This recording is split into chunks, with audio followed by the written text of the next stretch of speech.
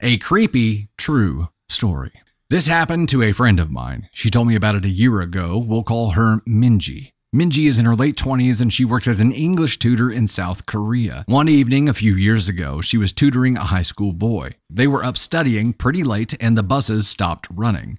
Being a long way from his house, the boy asked if he could crash on her floor overnight and get the first bus in the next morning. Minji was very reluctant because inviting a teenage male student to stay the night didn't sound like a great idea, but he was begging her and eventually she relented. They went back to her one room apartment and she got into the bed while he laid a blanket out on the floor and they both fell asleep.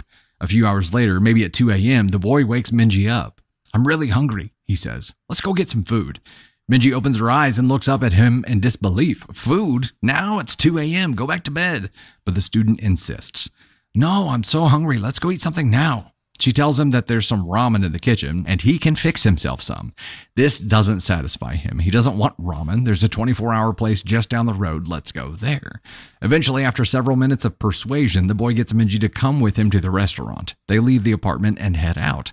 As soon as they're on the street, the boy turns to Minji and says, I'm not hungry. I woke up in the middle of the night and looked under your bed. There's a man sleeping there. They call the police and discover that a homeless man had been living in Minji's apartment, sleeping under her bed for over two months. The boy only saw him because he was lying on the floor, so he had a clear view under the bed. The police arrested the man, and thankfully there were no other issues, but that's by far the creepiest thing that's ever happened to anyone I know. Y'all, this ain't ghosts. This ain't monsters. This isn't. This this this is just disturbing.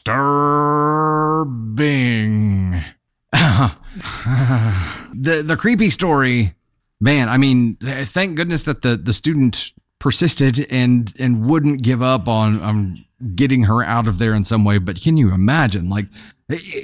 This did not go at all the way I thought it was going to go. And at first, you know, I'm like, the tutor is falling for something bad here. Like, never take a student back to your house, ever, ever, ever, ever, ever, ever, ever. But in this case, thank goodness she did, because that's the only way she found out that there was a homeless guy living under her bed. And how how how did this guy remain like hundred percent completely quiet that whole time and her not notice at all? That is wild, wild.